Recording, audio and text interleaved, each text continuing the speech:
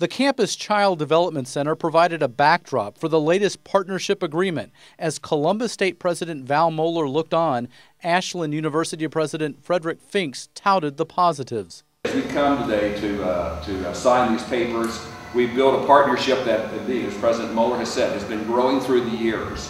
The agreement makes it easier for Columbus State students who earn an associate degree in early childhood education to transfer directly to Ashland to begin work toward a bachelor's.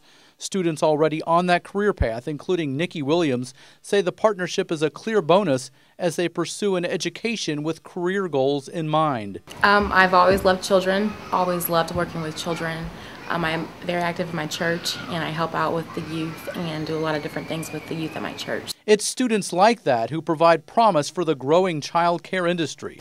As we know, uh, what happens to a child in their early years can really make them successful uh, in their educational path later on. The agreement is effective for students graduating this year.